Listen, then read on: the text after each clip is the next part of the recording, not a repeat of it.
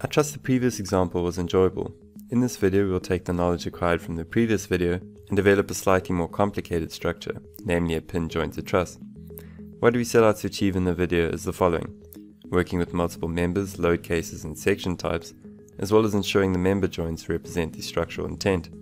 The first bullet point, working with multiple members, is crucial because the insufficient attention to numbering is a source for most bugs.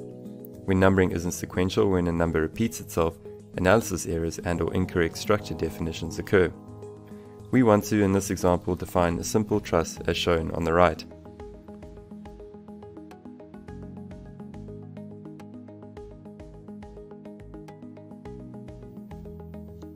When it comes to node creation, first we need to define some key parameters of our structure.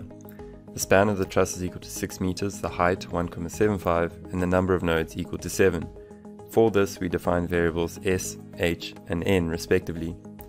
When it comes to the algorithm for defining the nodes, here we create a simple for loop and loop over the number of the nodes, which is a known value.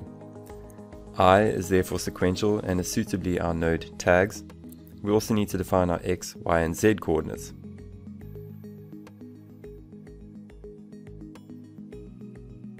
The x-coordinate increases sequentially from 0 to the length of the truss.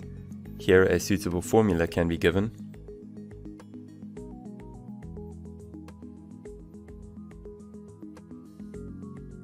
All y-coordinates are 0 since we are defining a planar truss. And in terms of our z-coordinates, all odd numbered nodes have a z value of 0, while all even numbered nodes have a z value equal to the height of the truss. We can, by default, set all z values to 0 and manipulate the appropriate nodes by filtering for the even node numbers using the Python modulo operator. When it comes to members, let's now define three sections, all with the same material.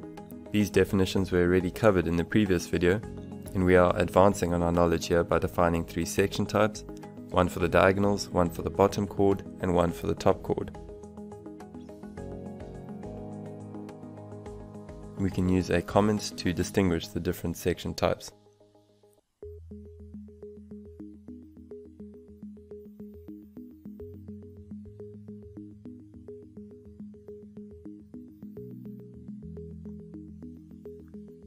Now for the algorithm for modeling the beams.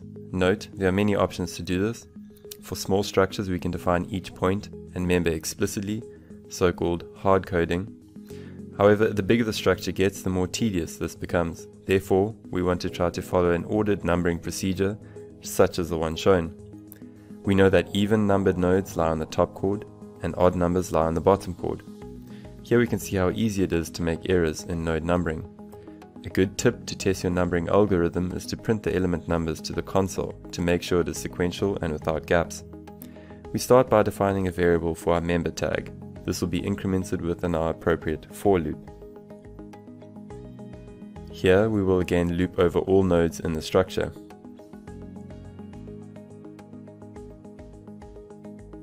If a node is odd, we can define both the diagonal and bottom chord.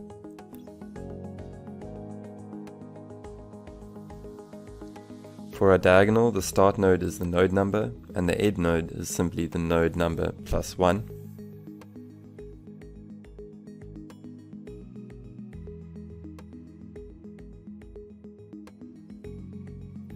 For a bottom chord, the start node is also the node number, and the end node is simply the node number plus 2. Note, we need to increase the member tag before each member call. Finally, the loop should ignore the final node. We can include this in our conditional.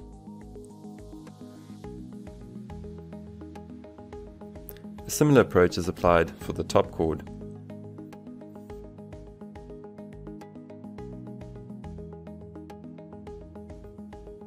Except we deal with even node numbers and not odd numbers.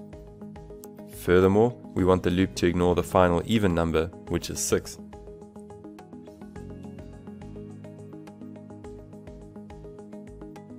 Because we ignored the final even node number, we still need to close this diagonal off.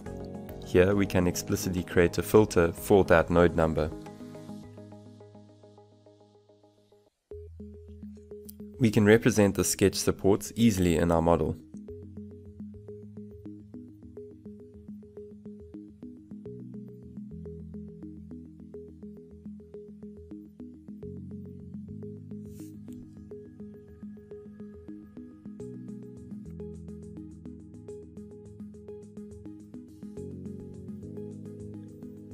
We will define three load cases, self-weight, vertical loads and horizontal loads. Will start with self-weight. This was covered in the previous video.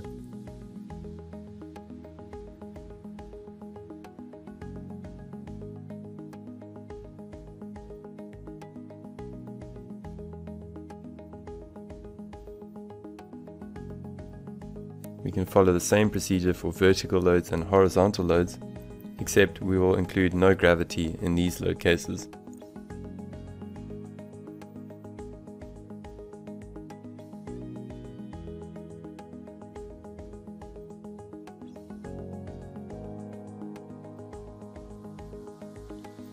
Let's add the sketch concentrated loads to the structure.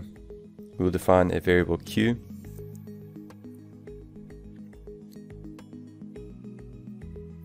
and add this q in our nodal load, assigning it to the node numbers 2, 4 and 6.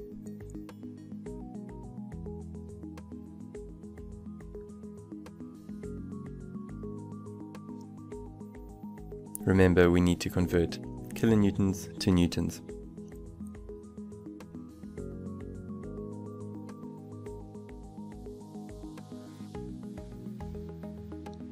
We'll add the horizontal load to node 2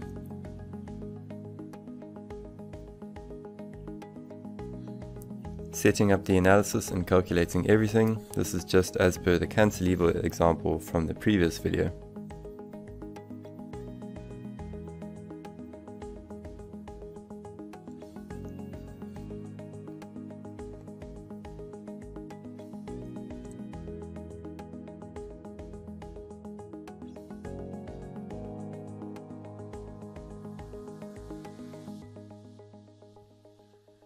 By interrogating the results, we can see through the bending moments that the truss isn't acting as intended.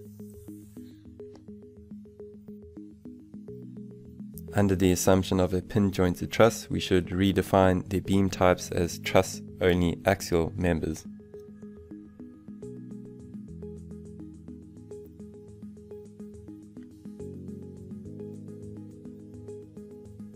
In the loop, where we define the members, we can simply add the member type designation member.trussOnlyN as opposed to the default member type.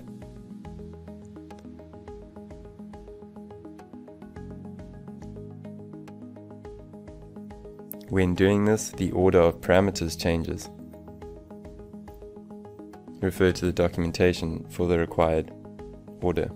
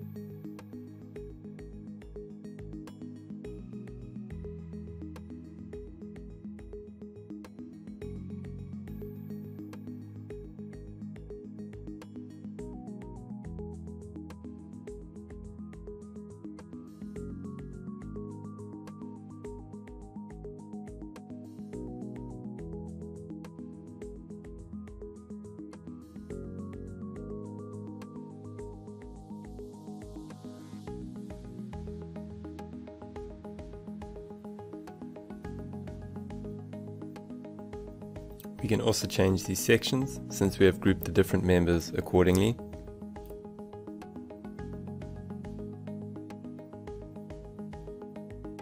Remember the string input is as per given in the RFEM section database.